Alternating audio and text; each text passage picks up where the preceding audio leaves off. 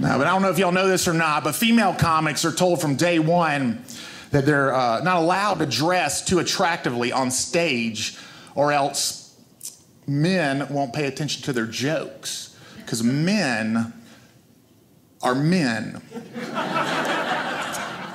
and uh, so, as a show of solidarity to all of my female comic friends this year on my comedy tour, I have been covering up the most attractive parts of my body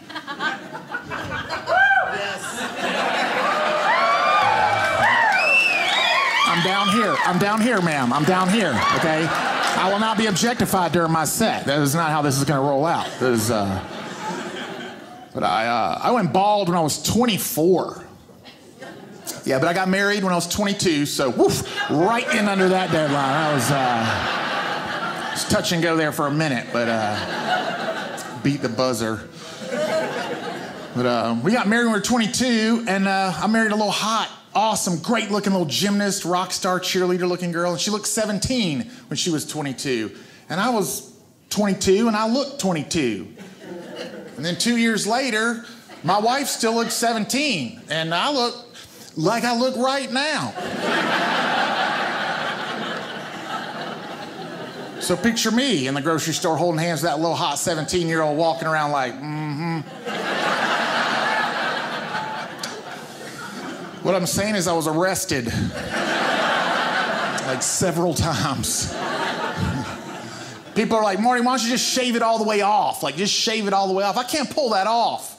I'm not cool enough. You got to give off a different vibe than I give off. Like, I give off a vibe that everyone sees immediately basketball referee.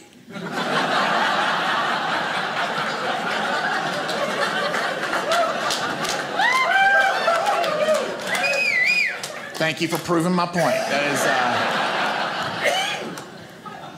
uh... if you shave your head all the way off, you need to give off a vibe like an undercover government agent. I look like an agent, a real estate agent.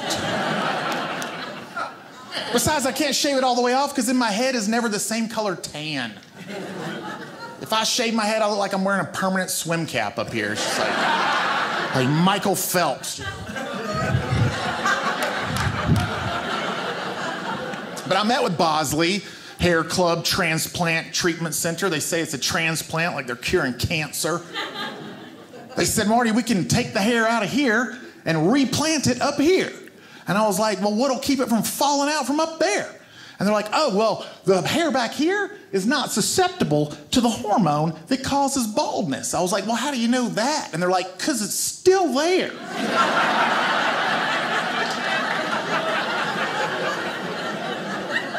I'm listening. They said it would just cost $48,000. Four payments of $12,000 to solve all of my anxiety with my male pattern baldness. Yeah, that was a really quick conversation. I met with another company that wanted one payment to do the same exact thing, uh, $22.95. Lids.